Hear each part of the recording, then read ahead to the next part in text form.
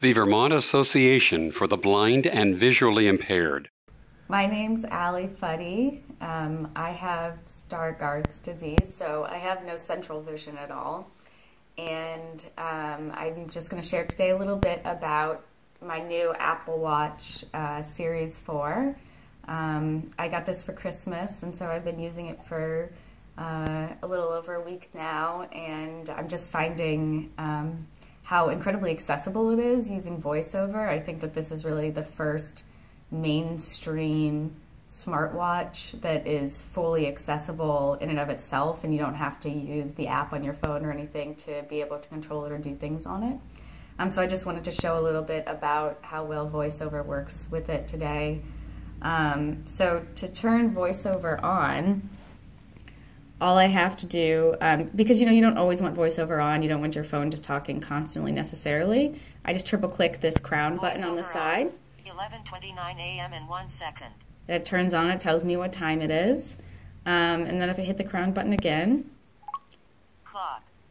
It brings me into the main screen, um, which my vision is not good enough. I cannot see what any of those icons are. Um, but just like on a phone or an iPad, clock. I can swipe through. Headspace. Good task. Yelp. Mail. Workout. Breathe. Maps. Cavaliers. Shazam. Reminders. Phone. Calendar. Weather. Um, and I can hear Actions all available. my different apps, and if I double tap on anything, it'll open it up. Weather. Um, so. Current location: South Burlington.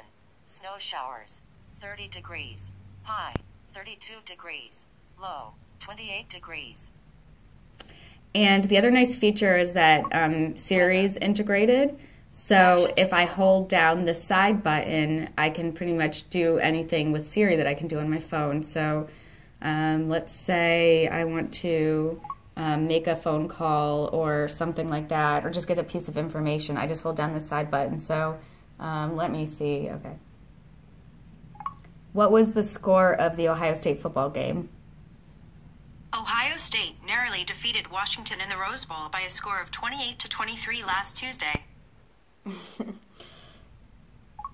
so yeah, it works really well, um, and I find I have yet to find something that isn't voiceover accessible on here. All of Apple's native apps are fully voiceover accessible. They've done a really nice job with it. I've heard some third-party apps don't work as well, but I haven't run into one yet. So um, I've just been really happy with this. I think Apple really um, has finally created a fully accessible mainstream smartwatch, and uh, that's how I do it.